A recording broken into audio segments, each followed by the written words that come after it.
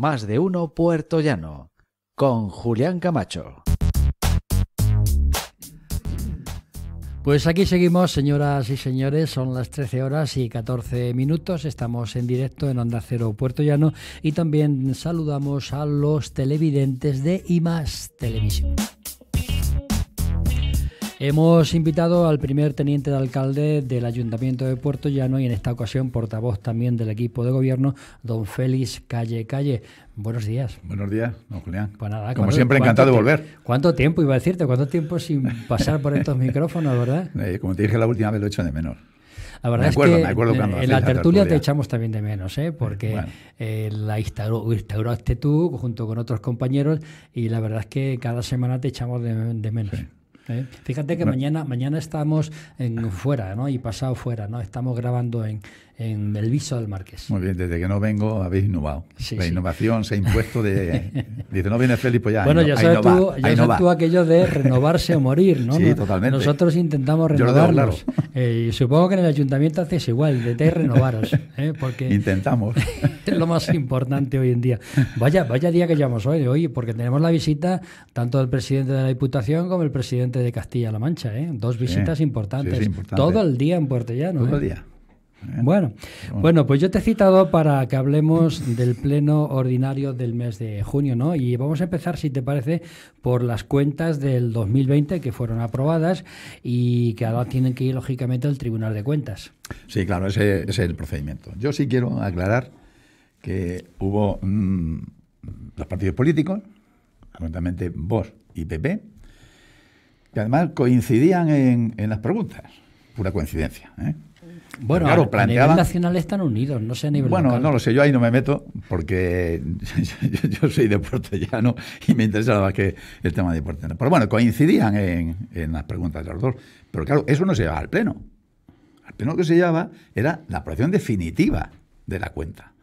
Entonces, claro, resulta que empiezan a meterse en esta cuenta, en la otra, que lo voy a explicar un poquito con más, con más detalle, no venía a cuento, ya se le explicó desde otro grupo político de que eso no procedía, era extemporáneo totalmente, pero bueno, decidimos contestar porque no vaya a ser que los ciudadanos se quedan con la duda de que posiblemente es que no queríamos contestar a eso que planteaban ellos, aunque era extemporáneo.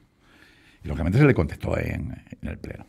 Y lógicamente se le voy a contestar aquí ahora otra vez, otra vez, de nuevo.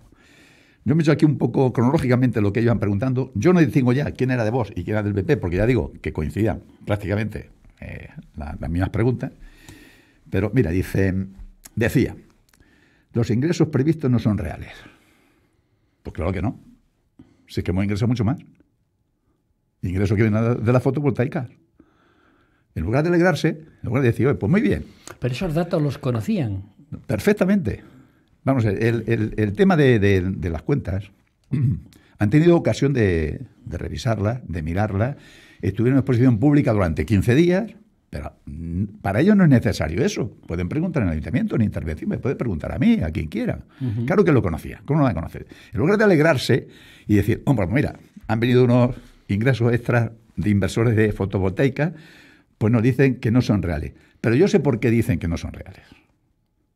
¿Y cuál es el motivo? Pues te lo voy a decir. Vamos en el presupuesto hay 45 millones Sí. de ingresos. Claro, los 45 millones hay devoluciones, como es natural, hay impagados, como en cualquier empresa, como la puedes tener tú, en cualquier ayuntamiento del mundo mundial. Sí. Entonces dice, hombre, Desgraciadamente hay claro, impagados. dice, hombre, es que pusieron 45 y solamente han recaudado 44. Mire, tienen que ver las cuentas en conjunto. Las cuentas son en conjunto. Cuando se van al Tribunal de Cuentas, no se lleva, se llevan en conjunto. ¿vale? Entonces, yo entiendo que, que, puede, que pueden ir por ahí. Pero claro, eh, eh, aparte que no se alegran, lo que plantean, pues eh, me parece de pandereta. Te, voy a contar por qué. Dice, hombre, en los presupuestos pongan ustedes lo que realmente se va a cobrar. Bueno, tiene un desconocimiento absoluto de lo que es la contabilidad. Absoluto. Eso no se puede hacer. Te pongo un ejemplo para que los ciudadanos nos entiendan. Y más televisión hace su presupuesto y emiten una factura, saben que tienen que emitir una factura por servicio o lo que sea, me la emiten a mí. Lógicamente tiene que, de- vamos a un ejemplo sencillo, 10 euros. se contabilizan 10 euros. Sí, Feliz calle debe 10 euros. Y la, y la previsión de ingresos son de 10 euros. Otra cosa es que yo pague 8 y déjalo sin pagar. Bueno, pero para la contabilidad. Yo como ingreso previsto son 10 y 2 lo tendré como pendiente de cobro, como quieras. Deudores, como quieras. Pero cómo se va a contabilizar y cómo se va a hacer una previsión de presupuestos con lo que pensamos que se va a cobrar. Si es que es ilegal. Sé que no puede ser. Si es que emitimos una serie de recibos y emitimos una serie de cobros que no puede ser distinto a otra Bueno, que cosa. se supone que existe la buena voluntad de que el que va a- tiene que pagar, paga. Y luego si no paga, Si no paga, pues bueno, para eso está la contabilidad. Claro. Entonces, se abre apertura otra cuenta como deudores, como pendiente de cobro, como quiera. Recaudar, se ha recaudado más. Por otro lado, dice, es que nos vamos endeudando más y esto es una crisis galopante.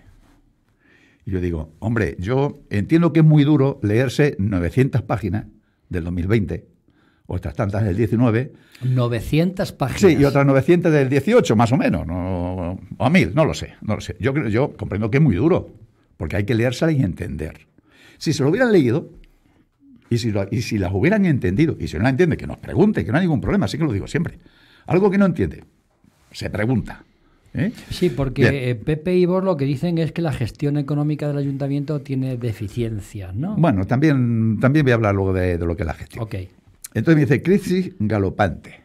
Y les digo en el pleno, mire, en el 2018 tenemos un nivel del 130,09%. 2018. 2019 de 132,44. En el 2020, 97,07. Qué mala gestión.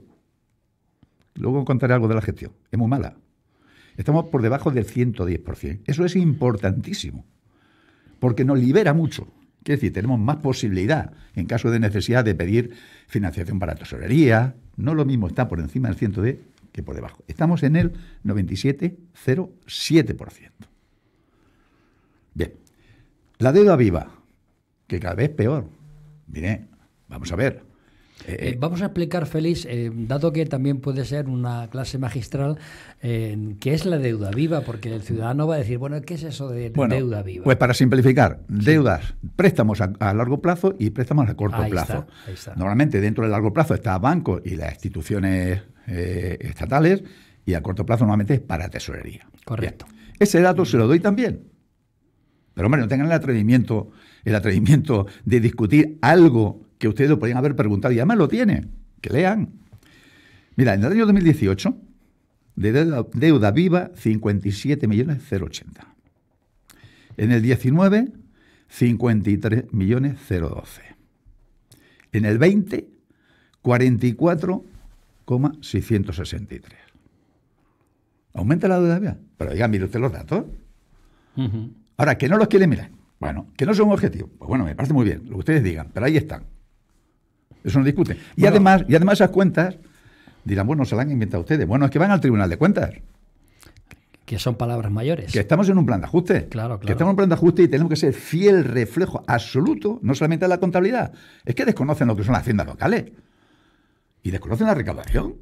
Es que es que un desconocimiento total y absoluto, pero hombre, siempre tienen tiempo de aprender, no hay ningún problema. Nosotros también podemos enseñar alguna cosilla, no mucho, pero vamos, podemos enseñar. Siempre hay tiempo de, de aprender. Nosotros aprendemos todos los días algo. Es que estamos hablando de una cosa también muy técnica, ¿no? Que, que, que no es política, porque son datos, los datos y los números son así los que aparecen, reales, ¿no? Claro. Y una Y- parte muy técnica que hay que entender, lógicamente. No, pero es que además dudan, dudan de la capacidad de los técnicos. O sea, dudan de la capacidad de, de la intervención y de la capacidad del cobro de, de recaudación y de tesorería, que ahora hablar- hablaré de ello. Es que lo dudan. Me dicen, no, no, nosotros no dudamos de los técnicos. Y oiga, lo que están haciendo es dudar de ellos. Otra dice, no hay plan, es que leo, porque Sí, me- sí. me- es, que lo, es que lo cogí textualmente, para no que dice, no hay plan para reversión de la situación. Que no hay plan. Bueno, ¿hay un plan de ajuste? Dice, eh, hay que hacer buena gestión y creación de empleo. Miren, si buena gestión no es traerle más ingresos, el esfuerzo que se está haciendo, que es nuestra obligación, de traer inversores. Tú mismo tienes inversores que están aquí al ladito, más todos los que han presentado ya su proyecto, lo saben perfectamente, y si no, que se informe. Eso es gestión. O sea, eso no estamos aquí esperando a que venga ningún inversor y no, haga- no hacemos ningún tipo de, de entrevistas con ellos, de reuniones, mil reuniones. Eso es gestión. Y es gestión para que venga alguien, que es el caso del 2020, que es del que estamos hablando, que son la empresa fotovoltaica, y nos haga un aporte muy importante para la tesorería. Eso no viene solo. Eso se gestiona. No, evidentemente, además no durante dos días, sino durante mucho Claro. tiempo. Dice creación de empleo. Pues lean, lean ustedes aunque sean las noticias. Que ya que no, no- que no se lo decimos al equipo, yo no. Lean las noticias, léanse todos los días y entonces verán que hay una serie de inversores que no lo decimos nosotros. Que además somos muy prudentes en eso. Porque no queremos que, bueno, pues que, mm, que la gente se, se anime mucho en el sentido que vamos a traer no sé cuántos inversores, ya lo hemos dicho muchas veces. Vamos a crear empleo. Entonces, lean ustedes la prensa y verán cómo hay muchos inversores que han venido, han venido a Portugal, que tienen ya su licencia y ya ellos mismos declaran qué nivel de empleo van a generar. ¿Que no queramos empleo? Bueno, ponen los diarios. Hombre, digo una cosa, no hay que ocultar que la situación es compleja. O sea, tirar las campanas al vuelo sería absurdo y, no- y nosotros no estamos en esa dinámica. La situación sigue siendo compleja, no, es- fácil. Y además, así se lo explicamos eh, al Tribunal Superior de Justicia de Castilla-La Mancha cuando hicimos un plan de pago para las últimas sentencias que nos vinieron. Y lo entendieron perfectamente. Y le explicamos que la situación, pues hombre, no es fácil. Pero ya le estoy diciendo los números cuáles son. Ya estoy diciendo eh, cuál es el nivel de endeudamiento y cuál es la deuda viva. Ha bajado ostensiblemente. Esperamos que este año bajará mucho más. Espero que en el próximo pleno nos sigan diciendo de que hay una crisis galopante y que estamos desmadrados en la deuda. Pues hombre, yo creo que a Portugal no, no se le puede dar ese mensaje, sobre todo cuando no es cierto. Porque si fuera cierto, yo entiendo que como a nivel político, pues no podía tirar de las orejas, ¿no? Pero cuando no es cierto, lo que está haciendo es inculcando a los ciudadanos algo que no es verdad y que le llega la preocupación, porque es que a mí me lo dice. Por eso, ahora aprovecho de que me dais cancha para este tema para que los ciudadanos entiendan perfectamente cuál es la situación. Y además, si es que además las cuentas se han presentado públicamente durante 15 días, la ha ver todo el mundo. Y ya esto ya dice, no cobramos todo lo que nos debe, que no es efectiva la gestión de cobro. Pues mira, cumplimos estrictamente con lo que dice la ley. Es decir, y todos los trámites están eh, conforme a la legislación. Alguien que no paga, se le emite un recibo de recargo, como se le da el plazo correspondiente, como todas las administraciones. Sí, porque es preceptivo que así sea, claro. La Seguridad Social, Hacienda, cualquier Sí, sí. ayuntamiento, la Diputación no paga. Nuestro siguiente trámite es hacer un expediente, intentar cobrar, embargar cuenta bancaria. No tiene, no tiene saldo suficiente. Pero hay que pensar que hay mucha gente que de verdad es insolvente. Algunos se escapará, ¿no? Porque yo no digo. Pero hay gente que es insolvente de verdad. Y hay gente que está en concursos de acreedores. ¿Qué haces con ellos? Y a pesar de eso, a pesar de le demostramos que cobramos del orden del 80 al 85%. Pero siguen dudando de la capacidad de, de, recaudación de los funcionarios. ¿Qué se piensa? Se lo dije en el Pleno. ¿Qué se piensan ustedes? ¿Que ese 20, ese 15 o 20% es que los ciudadanos que no lo quieren cobrar? ¿Los, los funcionarios no lo quieren cobrar? Sí lo quieren cobrar, pero no se puede.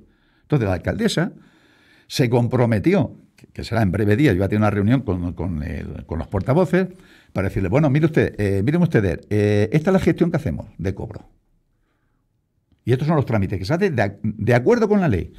Denos ustedes una solución para que no se pierda ese 15 o 20%, que no se pierde del todo, porque a lo mejor lo mismo la gente el año que viene paga algo de esto, ¿no? Pero que es verdad que es, eh, es una- de es hecho, continuo, ¿no? Félix, la alcaldesa, en el mismo pleno os combinaba, a, Exacto, como eso concejal es. y teniente alcalde, Sí. a reunirte con la oposición para ver qué posibilidades o qué formas hay de agilizar ese Lo vamos a hacer, vean, y lo vamos a hacer con, eh, con el personal de, de recaudación, con la tesorera, estaré yo, lógicamente, y los portavoces. Y no nos importa que alguno de ellos mira, la solución. Igual vienen con fórmulas Bueno, imaginativas. pues muy bien, perfecto, les ¿eh? aplaudo. Claro. Les aplaudo. ¿Qué se piensa? ¿Que el ayuntamiento no quiere cobrar al 100%? Pues que les aplaudo. Damos- y además lo diríamos públicamente. Mire, gracias Hombre, sería a- el primer ayuntamiento que no quisiera cobrar la deuda. Hombre, ¿no? di- vamos, digo yo.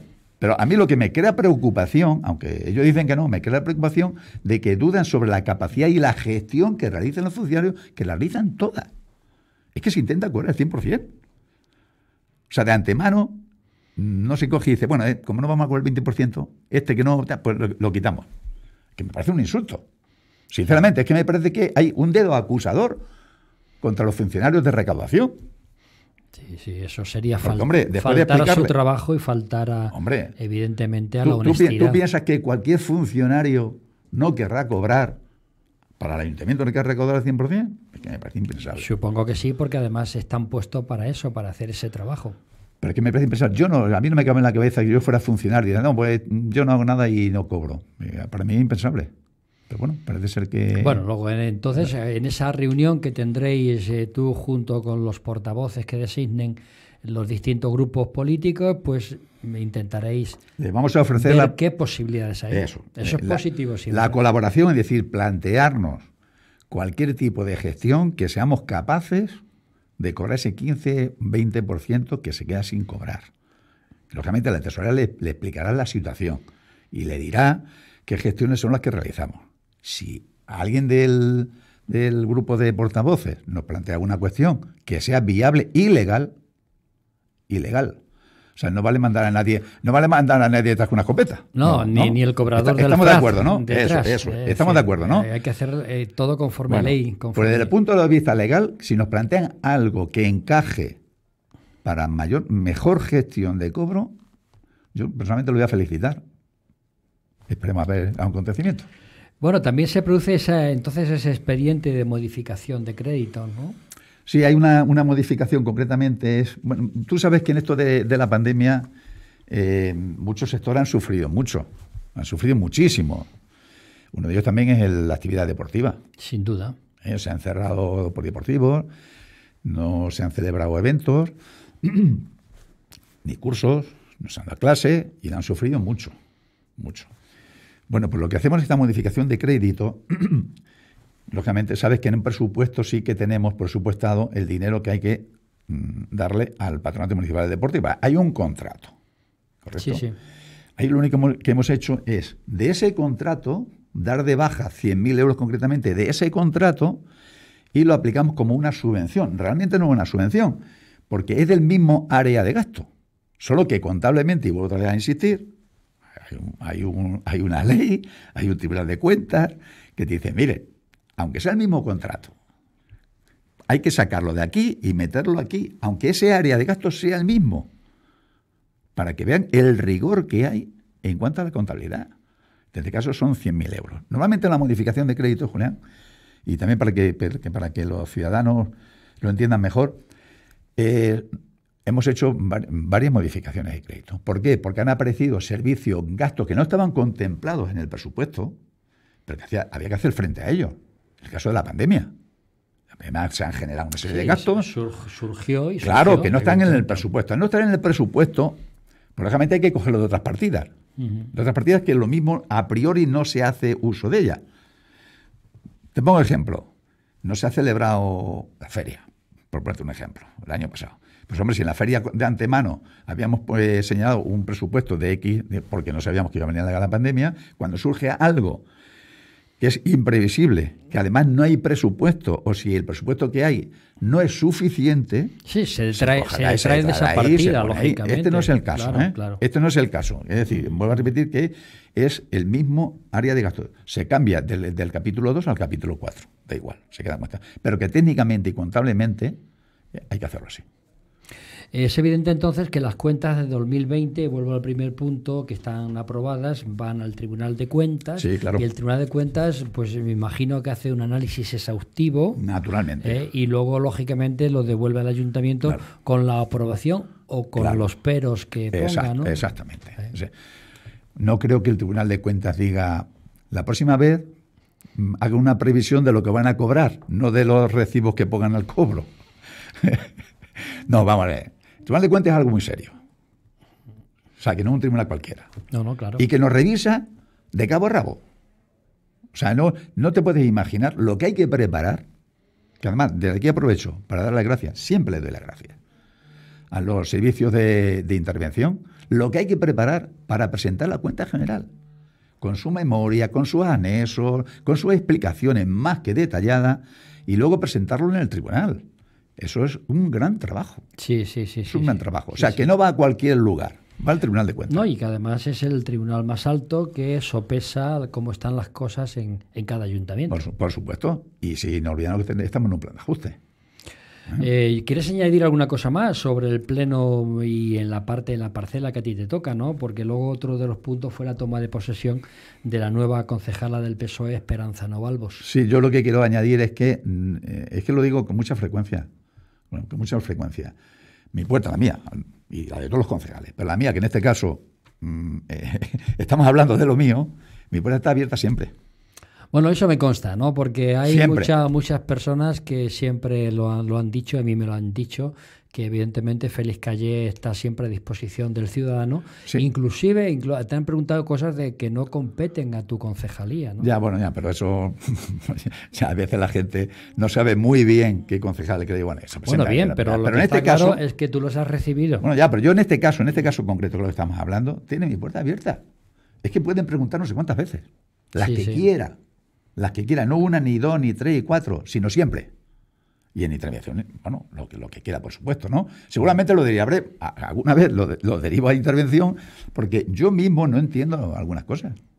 Yo soy de la profesión, pero no entiendo, no la entiendo y, la, y la pregunto. Antes de estar ignorante, pues la pregunto. Sí, sí, sí, sí. Tengo aquí al teléfono que le he abierto el teléfono móvil porque me está llamando Felipe González, que además hoy ha estado conmigo y me ha contado cómo ya se ha- por fin se ha solucionado que en la calle eh, Goya número 94 él necesitaba una zona para poder sacar a su señora en un carrillo de minusválido, ¿no? Sí. Y se ha solucionado y, Sí. y, bueno, lo tengo aquí porque me está escuchando, ¿no? Sí, no, pero sabes, Julián, eh, hay algunos casos más.